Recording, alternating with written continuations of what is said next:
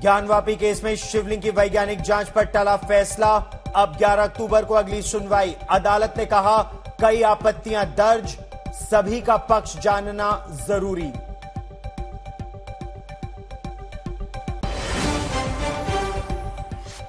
श्री राम और कृष्ण की पूजा न करने की शपथ दिलाने पर घिरे अरविंद केजरीवाल के मंत्री।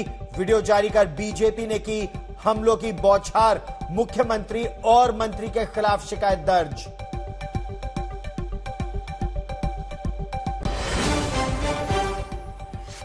अलीगढ़ मुस्लिम यूनिवर्सिटी में छात्र से जबरन पाकिस्तान जिंदाबाद का नारा लगवाने पर बढ़ा बवाल, छात्र की पुलिस ने दर्ज की शिकायत।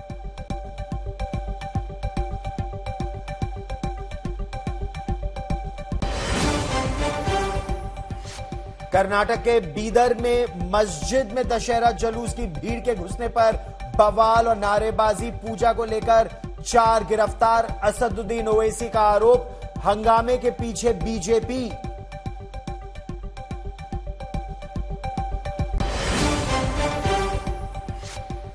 मध्य प्रदेश के सागर में दो कांग्रेस विधायकों पर चलती ट्रेन में महिला से छेड़छाड़ का आरोप, धारा तीन सौ चौवन के तहत एफआईआर दर्ज।